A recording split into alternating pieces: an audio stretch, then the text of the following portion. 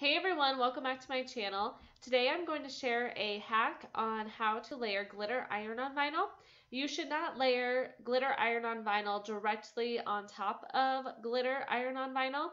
So I'm going to show you a way to get around that. And I love how beautiful the glitter looks on these shirts. Also, please subscribe if you're new. It's completely free and hit the notification bell so that you don't miss any of my videos. I post one video a week and let's just get into the video. The first thing I'm going to do is upload my SVGs. So I'm going to click on upload and I'm going to select both of these.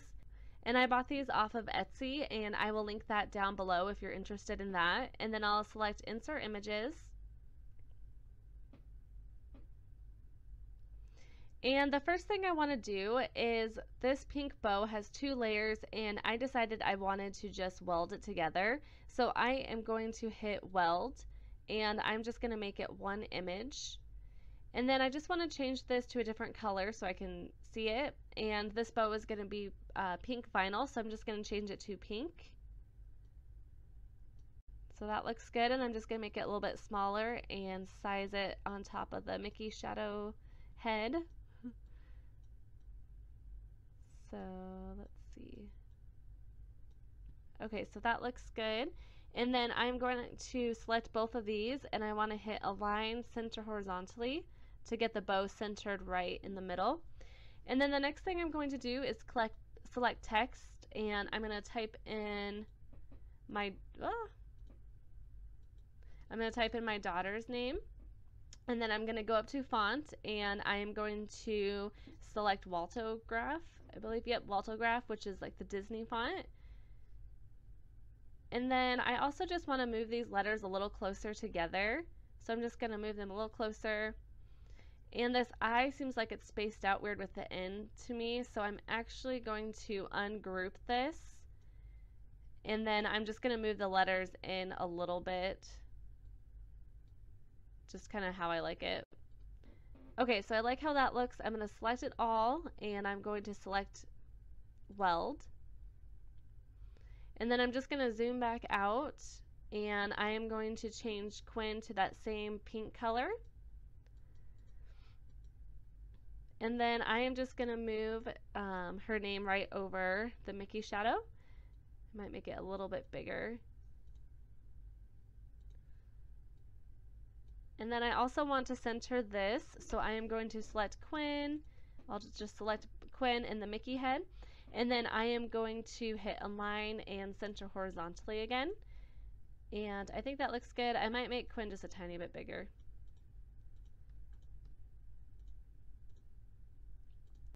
So I have my Mickey head how I like it, and I want to make each of these pieces glitter vinyl. But the problem with that is you cannot layer glitter iron-on over on top of glitter iron-on. So you can see here this bow is right on top of the Mickey head. If you move it, it's right on top of that. And you don't want to do that because it won't adhere, adhere well and um, I think it'll just peel off pretty easily. So Cricut recommends not to layer glitter iron-on vinyl on top of glitter iron-on vinyl. So to get around that, I'm actually going to slice these pieces so then we can kind of piece them together instead of laying them, layering them directly on top of each other. So to do this, the first thing I want to do is size my image. So I'm going to select this whole thing and I want it to be five and a half inches, which is pretty much what it's set to, but I'm just going to change it to five and a half inches. And then after that, I want to duplicate the bow and Quinn. So I'm going to select the bow and hit duplicate. And I'll just slide it over here and I'll select Quinn and hit duplicate. And then after that, I want to slice these pieces. And you can only slice two layers at a time. So I'm going to start with the bow. I'll select that with the Mickey head. You can see I have two slices selected and then I am going to hit slice. So then I'm going to take these pieces out of here and then I'm just going to delete them. And you can see the bow will fit right inside of the Mickey head. Oops, undo. So I'm going to move the bow out of the way and my Quinn went underneath the Mickey head so I'm just going to right click and hit send to back So now I'm just going to slice both of these. So I'm going to hit Quinn. So you can see that I welded the letters Quinn. If I did not have these welded together, it won't let you slice. So make sure that you have your letters welded together because it makes it one layer.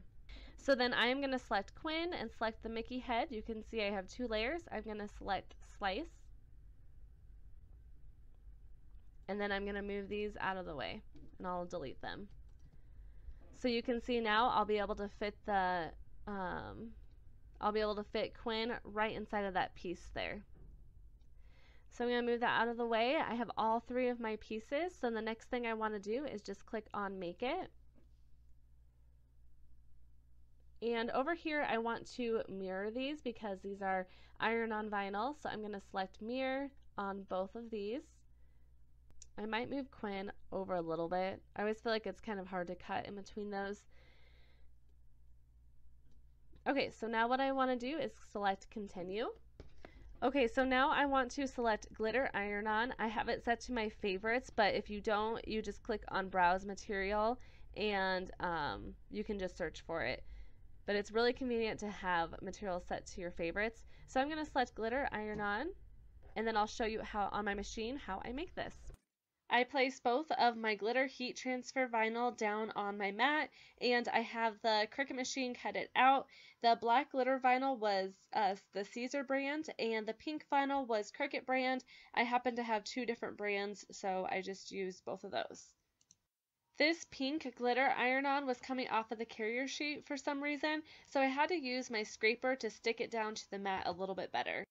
Here's my pieces cut out and weeded out. You can see how the pink vinyl was coming off of the carrier sheet some, which did make it a little bit more difficult to weed out the letters. For the black Mickey head, you want to weed out the actual letters like I'm doing here, and this is similar to how you would weed out a stencil, and those pink letters are going to be going inside of the Mickey letters that were sliced out. And here you can see how I weeded it out. Next, I lay my shirt on the Cricut Easy Press mat.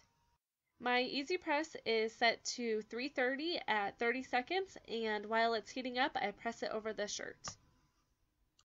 Next, I fold my shirt in half and run my Easy Press over it. I love this little trick because it makes it so easy to know where to center the design. I also fold the vinyl in half to find the center of that, and make sure to not fold the sticky side in half. I set the vinyl on my shirt and line it up. Then I place my Easy Press on top of it. I only hold the Easy Press down just for a few seconds, just long enough for the vinyl to stick to the shirt, and you don't want to press for the full 30 seconds because the vinyl can shrink and the pieces won't line up right. Then I take the carrier sheet off. I grab my pink bow and line it up in the cutout section and you want to line it up just right where there's no gaps in it and where it's not overlapping any of the black vinyl. And here's how it looks all lined up. Now I take my parchment paper and you can use Teflon sheets as well and I place it over the vinyl and this will protect the vinyl that isn't covered up by the carrier sheet and then once again I place the easy press over over it for maybe two to four seconds just enough for it to stick to the shirt and then I take the carrier sheet off.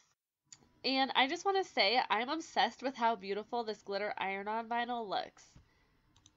Next, I'm going to add Quinn's name. With that pink vinyl moving around so much on the carrier sheet, it wasn't going to work to line up the whole word, so I did, decided to cut out each letter.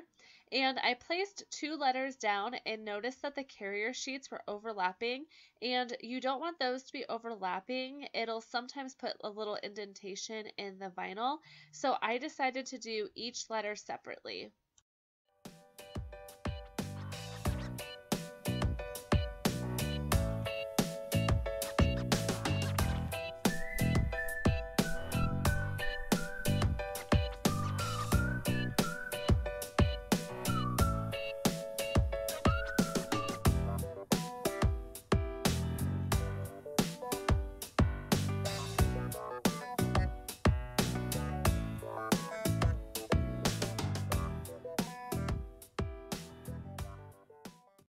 After I'm done adding the letters, I do one final press for the full 30 seconds, and then I turn my shirt over and press on the back for around 15 seconds.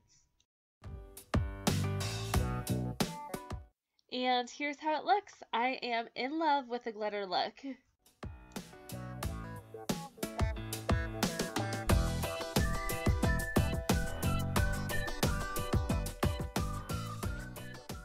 Next, I want to show you how I made one more shirt with layering glitter iron-on. You'll see in Design Space that this SVG already has the pieces cut out. So I'm going to click on Upload and I'll select my SVG and I found this SVG off of um, Etsy. So I'll hit Insert Image. Okay, so here's our image and if you go over to the Layers panel and hit Ungroup, and then when you select this, all of these are uh, grouped together. So you want to click ungroup again. And then when you slide these out, you can see that they are already sliced out. The way that she made this SVG, it looks like everything is already sliced. So you don't even have to do the slicing um, and it will be all ready to go. So I am going to hit undo and I'll just bring it back to how it was. So all I'm going to do is select this whole image and then I am going to size it and I'm going to do 5 inches for the width. And then I'm going to click on make it. And then I'm going to select each one and hit mirror. This is iron-on vinyl or heat transfer vinyl, so you want to mirror all of these. And it separates it by color on the mats. So I'm just going to click mirror, mirror. And then I'm going to hit continue. I'm going to select glitter iron on. I have my vinyl cut and weeded out and I'm going to show you how I piece these together. It's basically the same way I did for the first shirt, so I will just speed it up so you can see the whole process.